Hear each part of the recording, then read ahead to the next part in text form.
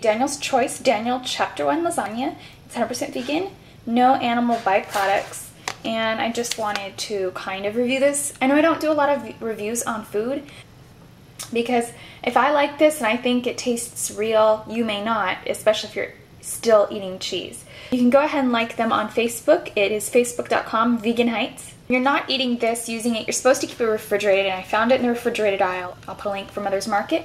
Now you can microwave heat this for a couple minutes or put it in the oven at 350 degrees for 20 minutes. It really just depends if you want to bake it or nook it.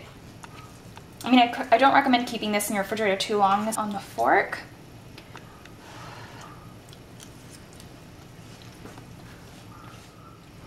No, I haven't had lasagna in two years or more.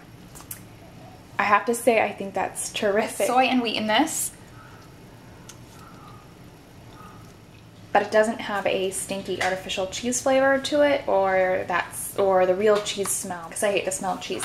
So, and it tastes tomatoey. Obviously, it has no fake meat in there. Not that you can't make um, a, a raw vegan or whatever lasagna with fake meat. You can always do that too, especially if you're building your own.